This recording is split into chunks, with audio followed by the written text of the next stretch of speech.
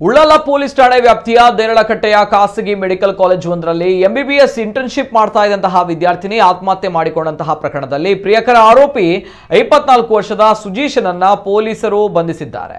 ಬೀದರ್ ಜಿಲ್ಲೆಯ ಆನಂದನಗರ ನಿವಾಸಿ ವಿಜಯ್ ಕುಮಾರ್ ಗಾಯಕ್ವಾಡ್ ಎಂಬುವರ ಪುತ್ರಿ ಇಪ್ಪತ್ತೈದು ವರ್ಷದ ವೈಶಾಲಿ ಗಾಯಕ್ವಾಡ್ ಆತ್ಮಹತ್ಯೆ ಮಾಡಿಕೊಂಡಂತಹ ವಿದ್ಯಾರ್ಥಿನಿ ಈಕೆ ತನ್ನ ಸಹಪಾಠಿ ಜೊತೆ ಕುತ್ತಾರುವಿನಲ್ಲಿ ಸಿಲಿಕಾನ್ ಅಪಾರ್ಟ್ಮೆಂಟ್ನಲ್ಲಿ ವಾಸಿಸ್ತಾ ಇದ್ಲು.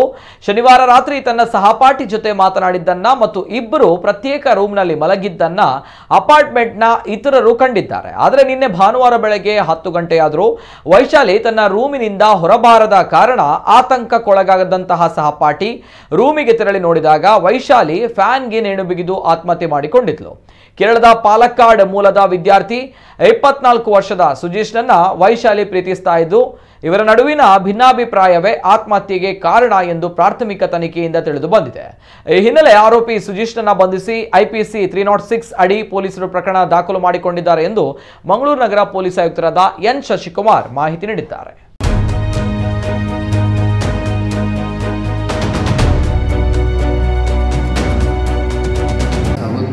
ಮತ್ತೊಬ್ಬರಿಗೆ ಲೈಂಗಿಕ ಕಿರುಕುಳ ನೀಡಿದ್ದಾರೆ ಅನ್ನುವಂಥ ಯಾವುದೇ ಪ್ರಕರಣ ನಮ್ಮಲ್ಲಿ ಸೊ ದಾಖಲಾಗದೇ ಇರುವಂಥ ಪ್ರಕರಣದ ಬಗ್ಗೆ ನಾನು ಮಾತನಾಡಲಿಕ್ಕೆ ಇಷ್ಟಪಡ್ತೀನಿ ಇಲ್ಲ, ಈ ಪ್ರಕರಣದಲ್ಲಿ ಬೇರೆ ಯಾವುದೇ ಸಂತ್ರಸ್ತರು, ಅಂದರೆ ಒಂದು, ಮತ್ತೊಂದು ಆರೋಪ ಇತ್ತು. ಅಲ್ಲಿ ಇದ್ದಂಥ ಇಂಟರ್ನ್ಸ್ ಬೇರೆಯವ್ರಿಗೂ ಕೂಡ ಇದೇ ರೀತಿ ತೊಂದರೆ ಕೊಟ್ಟಿದ್ದಾನೆ ಅಂತಂದು. ಸೊ ಅದನ್ನು ನಮ್ಮ ತನಿಖೆಯಲ್ಲಿ ನಾವು ಹೇಳಿಕೆಗಳನ್ನು ಪಡ್ಕೊಂಡಾಗ ಯಾರೂ ಅದನ್ನು ಪುಷ್ಟೀಕರಿಸೋ ರೀತಿಯಲ್ಲಿ ಹೇಳಿಕೆಯನ್ನು ನೀಡಿಲ್ಲ. ಮತ್ಯಾವುದೋ ಒಂದು, ಮತ್ತೆ ಕೆಲವು ಸೋಷಿಯಲ್ ಮೀಡಿಯಾಗಳಲ್ಲಿ ಅವರ ಖಾಸಗಿ ಫೋಟೋಗಳು, ವಿಡಿಯೋಗಳು ಹರಿದಾಡ್ತಿದ್ದಾವೆ ಅನ್ನುವಂಥದ್ದು ನಮಗೂ ಕೂಡ ಆ್ಯಸ್ ಎ ವ್ಯೂಮರ್ ಕೇಳಿ ಬಂದಿದೆ ಅಷ್ಟೇ. ಅದಕ್ಕೆ ಯಾರೂ ಕಂಪ್ಲೇಂಟ್ ಕೊಡುವಂಥದ್ದಾಗಲಿ ಅದಕ್ಕೆ ಪೂರಕ ಸಾಕ್ಷ್ಯಾಧಾರಿಗಳು ನಮಗೆ ಸಿಕ್ಕಿರುವಂಥದ್ದಾಗಲು ಆಗಿಲ್ಲ. ಇದು ದಾಖಲಾಗದೇ ಇರುವಂಥ ಪ್ರಕರಣದ ಬಗ್ಗೆ ನಾನು ಈಗಲೇ ಮಾತನಾಡಲಿಕ್ಕೆ ಇಷ್ಟಪಡ್ತೀನಿ. ಆ ಥರ ಯಾರಾದರೂ ಸಂತ್ರಸ್ತರಿದ್ದರೆ ಖಂಡಿತ ಬಂದು ನಮಗೆ ನಮ್ಮ ಸಂಬಂಧಪಟ್ಟ ಪೊಲೀಸ್ ಠಾಣೆಗಳಲ್ಲಿ ಫಿರ್ಯಾದನ್ನು ದಾಖಲು ಮಾಡ್ತೀವಿ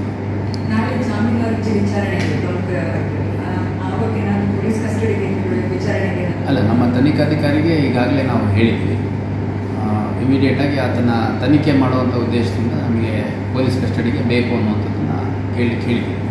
ಯಾಕಂದರೆ ಸಂತ್ರಸ್ತ ಯುವತಿ ಇನ್ನೂ ಸಾಕಷ್ಟು ಆರೋಪಗಳನ್ನು ಮಾಡಿದ್ದಾಳೆ. ಅದರಲ್ಲಿ ಸಾಕಷ್ಟು ದಾಖಲೆಗಳನ್ನು ಮತ್ತು ಕೆಲವು ನಂದು ಸೈನ್ ಮಾಡಿಸ್ಕೊಂಡಿದ್ರು, ಫಿಂಗರ್ ಪ್ರಿಂಟ್ ತೊಗೊಂಡಿದ್ರು, ಈ ಥರದ್ದೆಲ್ಲ ಕೆಲವು ಆರೋಪಗಳು ಮಾಡ್ತಾರೆ. ಅದನ್ನು ಇನ್ವೆಸ್ಟಿಗೇಟ್ ಮಾಡಲಿಕ್ಕೆ ನಮಗೆ ಆರೋಪಿಯ ಕಸ್ಟಡಿ ಬೇಕಾಗುತ್ತೆ. ಹಾಗಾಗಿ ನಾವು ಪೊಲೀಸ್ ಕಸ್ಟಡಿ ತೊಗೊಳಲಿಕ್ಕೆ ಮನವಿ ಬಂದಿದ್ದಾರೆ ಈಗಷ್ಟೇ ನನಗೆ ತಿಳಿದಿದ್ದು ಆರೋಪಿ ತನ್ನ ಸಂಬಂಧಪಟ್ಟವ್ರ ಜೊತೆಗೆ ಆ್ಯಂಬುಲೆನ್ಸಲ್ಲಿ ಬಂದಿದ್ದ ಅನ್ನುವಂಥದ್ದು. ಅದು ಯಾವ ಕಾರಣಕ್ಕೆ ಆ್ಯಂಬುಲೆನ್ಸಲ್ಲಿ ಬಂದರು ಅನ್ನೋಂಥದ್ದು ನಮಗೆ ತಿಳಿದಿಲ್ಲ.